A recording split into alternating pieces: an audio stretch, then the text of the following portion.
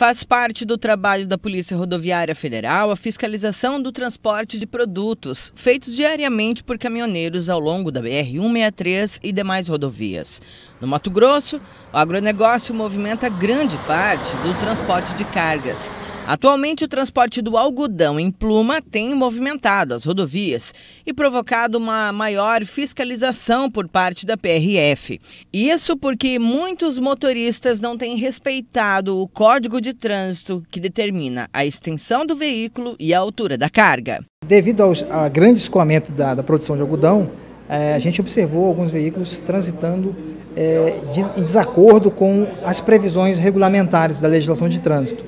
Nesse sentido, a Polícia Rodoviária Federal procedeu a algum, algumas autuações, algumas medidas administrativas.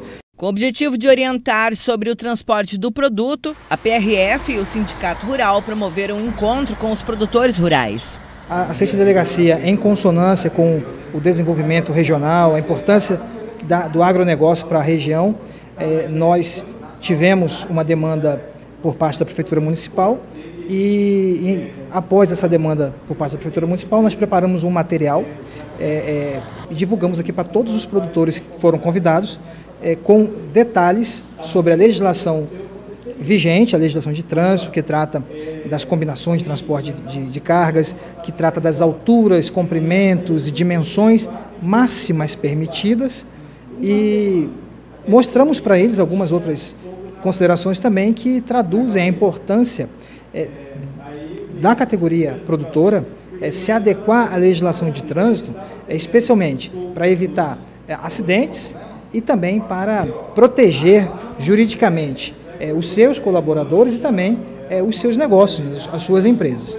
Luimar Geme, que faz parte da diretoria do Sindicato Rural, ressalta que a maioria dos produtores rurais não tinha conhecimento sobre alguns trechos da legislação de trânsito. E agora, com o esclarecimento da PRF, ficará mais fácil se adequar às leis. Os agricultores entenderam o posicionamento da Polícia Rodoviária Federal, que nos esclareceu qual que é a obrigação deles, o que está escrito e eles têm que cumprir a legislação. Então, foi tranquilo, o agricultor entendeu, já tivemos algumas é, é, situações aqui de que é possível melhorar com algumas correções. Já foi discutido assim uma, uma forma imediata de solução temporária e vamos buscar ah, com mais tempo para que seja ajustado a lei para que a gente tenha um transporte com segurança e que não cause esse transtorno à PRF.